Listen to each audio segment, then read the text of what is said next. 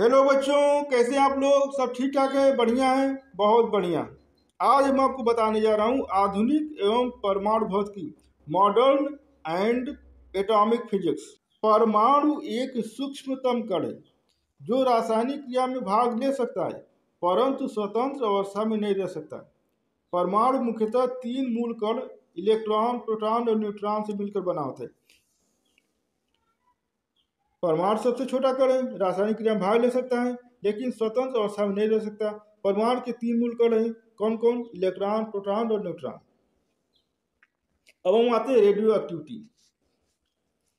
Radio activity की खोज French वैज्ञानिक हेनरी बेकुरेल, एम क्यूरी और पी क्यूरी ने की थी।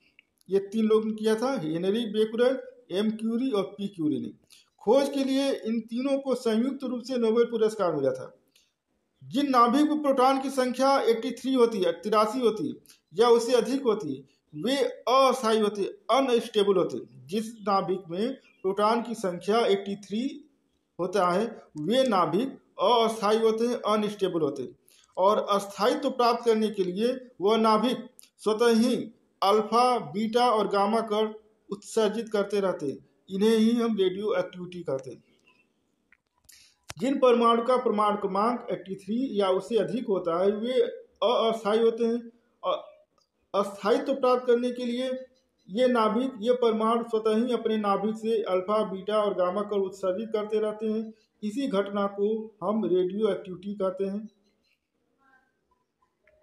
रोबर्ट पियरे और उनकी पत्नी मैडम क्यूरी ने नए रेडियो एक्टिव तत्व की खोज की थी, जिसका नाम था रेडियम। रेडियम नाभिकीय रिएक्टर न्यूक्लियर रिएक्टर नाभिकीय रिएक्टर एक ऐसी युक्ति है, एक ऐसी डिवाइस है, जो नाभिकीय विखंडन से जो ऊर्जा प्राप्त होती है, उस ऊर्जा का उपयोग विद्युत ऊर्जा के उत्पादन में करता है। नाभिकीय रिएक्टर एक ऐसा डिवाइस है, जो नाभिकीय विखंडन से जो ऊर्जा प्राप्त होती है, उस ऊर्जा को विद्युत ऊर्जा के उत्पादन में करता है। रिएक्टर में ईंधन के रूप में यूरेनियम 235 इस रिएक्टर में ईंधन के रूप में फ्यूल के रूप में यूरेनियम 235 या प्लूटोनियम 239 का प्रयोग किया जाता है। रिएक्टर में मंदक मॉडरेटर के रूप में भारी जल हिवी वाटर या ग्रेफाइट का प्रयोग किया जाता है। रिएक्टर में नियंत्रक कंट्रोलर के रूप में कैडमियम या बोरान छड़ का उपयोग किया जाता है।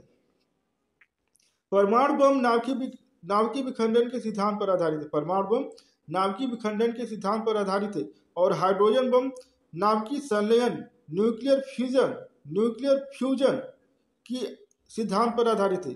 सूर्य एवं तारों में जो ऊर्जा प्राप्त होती है और उष्मा प्राप्त होती है, उसका मुख्य स्रोत नाभिकीय संलयन न्यूक्लियर फ्यूजन है। नाभिकीय रिएक्टर में अनेक प्रकार की समर्थानिक उत्पन्न किए जाते हैं, जिसका उपयोग चिकित्सा विज्ञान में कृषि के क्षेत्र में किया जाता है। अब हम आते हैं कैथोड किरण, कैथोड रेज। कैथोड किरणें केवल उच्च ऊर्जा वाले इलेक्ट्रॉन के पुंज। यह इलेक्ट्रॉनों के पुंज जो उच्च ऊर्जा वाले इलेक्ट्रॉन होते हैं, उन्हीं का यह पुंज होता है। कैथोड किरणों की खोज सर विलियम कुर्क ने की। यह सीधी रेखा में चलती है और इस फ्लोरेसेंस उत्पन्न करती है। कैथोड किरणें पतली धात की चादर से पार निकल जाती है, यह किरण विद्युत और चुंबकीय क्षेत्र से विक्षेपित हो जाती है। इनका वेग प्रकाश के वेग का वन अपान टेन गुना होता है। अब हम आते धन किरण या, या कैनाल किरण। धन किरण को कैनाल किरण भी कहते हैं। इन किरणों की खोज गोल्ड स्टाइन ने की थी। धन किरण धन आवेशित कणों से बनी होती है। धन किरण धन आवेशित किरणों कणों से बनी होती है यह सीधी रेखा में चलती है और विद्युत क्षेत्र से विक्षेपित हो जाती है यह गैसों को आनीकृत कर देती है। डायोड वाल का प्रयोग दृष्टकारी के रूप में मतलब रेक्टिफायर के रूप में किया। डायोड बल का प्रयोग दृष्टि दृष्टिकारी मतलब रेक्टिफायर के रूप में प्रयोग किया जाता है। अर्थात इसके दौरान प्रत्यावर्ती धारा को दृष्ट धारा में बदलते हैं। डायोड बल की सहायता से प्रत्यावर्ती धारा को दृष्ट धारा में बदलते हैं। अब आते हैं यक्ष किरण। यक्ष किरण क्या होता है? तो यक्ष किरण विद्युत चुंबकी तरंग होती है। यक्ष किरण विद्युत चुंबकी तरंग होती है। यह सीधी रेखा में चलती हैं। यक्ष किरण की खोज रोन्टजन ने किया था। यह प्रवर्तन, अपवर्तन, व्यतिकरण विवर्तन त्वरण की घटना को प्रदर्शित करता है। मतलब यह डाइफ्रैक्शन रिफ्रैक्शन इंटरफियरेंस और त्वरण एक्सिलरेशन की घटना को प्रदर्शित करता है। यह किरणें विद्युत चुंबकी विद्युत क्षेत्र से और चुंबकीय क्षेत्र से विक्षेपित नहीं होती। यह किरण यह किरण विद्युत क्षेत्र, चुंबकीय क्षेत्र से विक्षेपित नहीं होती क्योंकि ये विद्युत चुंबकीय तरंगें होती हैं। और अधिक समय तक त्वचा पर पड़े तो मानव शरीर को ये नुकसान पहुंचाती हैं।